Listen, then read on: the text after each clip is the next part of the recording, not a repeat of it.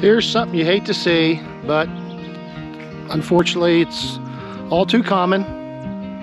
Former train station in the little town of Dayton, Pennsylvania, Armstrong County.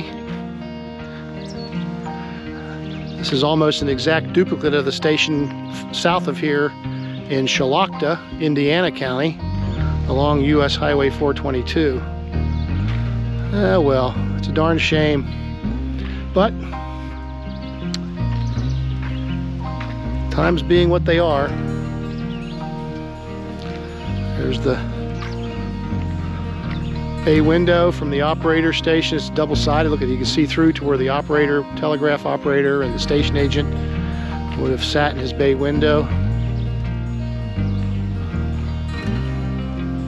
Station sign still hanging, rotting away. We're in Amish country here. Comes a working, working buggy.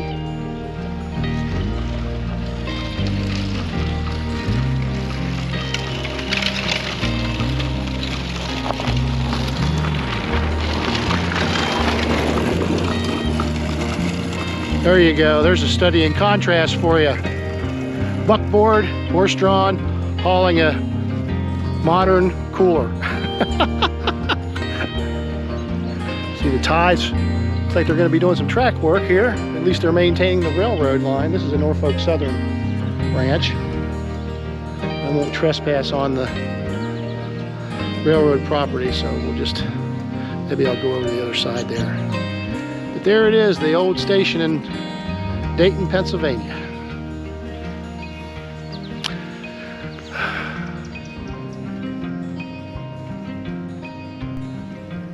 That's it for this time. I hope you enjoyed this video and will take time to view some of our other ones.